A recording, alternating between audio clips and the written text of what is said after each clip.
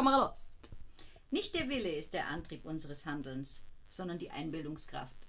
Das schreibt Emil Coué 1925 in seinem Buch über die Selbstbemeisterung. Was meint er damit? Autosuggestion, Suggestion, Vision, Vorstellungskraft, alles das ist notwendig. In der Musik habe ich das nicht, fällt es mir schwer, etwas umzusetzen und vor allen Dingen mit Power. Alles das werde ich mit euch durchgehen in meinem Kurs Die Macht der Einbildungskraft, Visionen und die Power, diese Visionen umzusetzen. Ich freue mich auf euch.